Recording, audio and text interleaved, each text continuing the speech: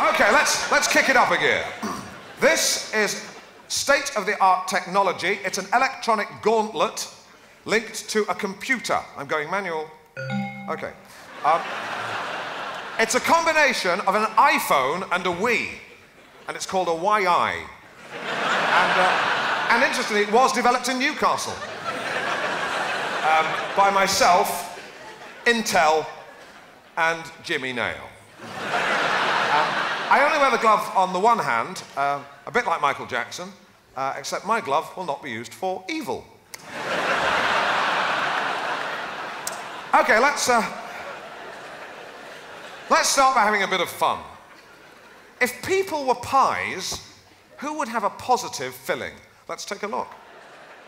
That's right, it's Trevor Phillips, chairman of the Commission for Racial Equality. Trevor is a very positive person. I met him two years ago at the Pride of Britain Awards, uh, where he was winning an award for being uh, least racist person or something. and um, afterwards, after the ceremony, he'd, he'd, he'd, had a couple of drinks. And actually, I think I'll do this. Um, actually, that, that's a bit weird. Um, yeah, he, he'd had a couple of drinks. And Trevor made some pretty, pretty derogatory comments about the Welsh. I said, hey, you, hey, Trevor, give that award back. And he said, Alan, he said, I'm not racist. He said, but you've got to draw the line somewhere. and without missing a beat, he said, that line is somewhere around Shropshire. Very positive person indeed. Who else would have a positive filling? Let's take a look. That's right, it's my very good friend, Norfolk based intensive farmer, Bernard Matthews. Bernard is a very positive guy. He gets a lot of flack from the pro chicken brigade. Um, unnecessarily so, because he really does have chicken's best interests at heart. Um, I was chatting with him about this the other week uh, at a cockfight in, in his front room. And I said, I said, Bernard, don't listen to these people. I mean, how much space does a chicken need, really? If you do give them space, they just run around like idiots. So, you know. But he's got, he's got a great sense of humour. Um, I was at a party at his house a few weeks ago, and he said to me, he said, Alan, he said, are you a leg or a breast man? I said, do you mean chickens or ladies? and he laughed.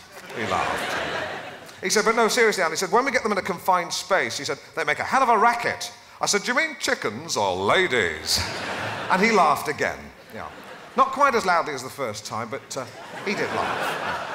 Um, and then he said, no, but seriously, Alan, he said, when they reach a certain weight, we electrocute them, slit their throats, then gut them.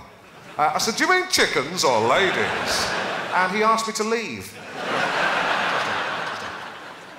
okay, if a pie had a negative filling, what would that look like? Let's take a look. That's right, it's Chief Superintendent Charles Brownlow from the Bill. Don't know his real name.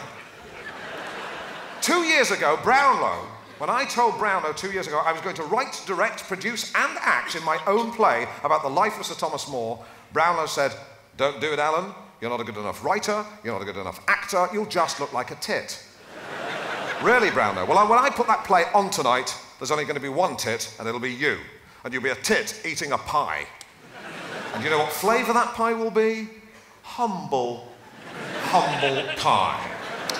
Uh, by the way, when I had acting lessons for my debut tonight, I hired the best in the business, crocodile shoe-wearing Geordie Hardman, Jimmy Nail. Um, and Jimmy, Jimmy, when he trained me, he said to me, he said, Alan, he said, I didn't fuck a boot. and he didn't. He really didn't.